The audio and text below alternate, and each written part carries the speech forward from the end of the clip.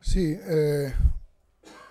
yo creo que todos tenemos la idea, eh, los que acabamos bien, de seguir igual y los que, los que terminaron pues regular o mal, pues cambiar la dinámica.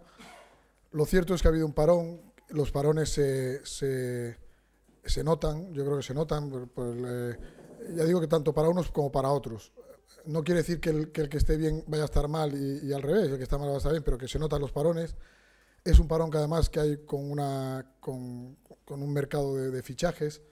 y yo estoy seguro que después de, las vacaciones que ya han terminado y de este mes o de estas primeras semanas,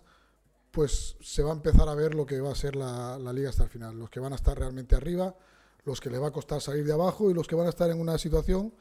que se pueden complicar o, se- o pueden meter arriba. Yo creo que todo se ve a partir de, de- de este parón, que parece que no, pero que sí, que sí influye bastante.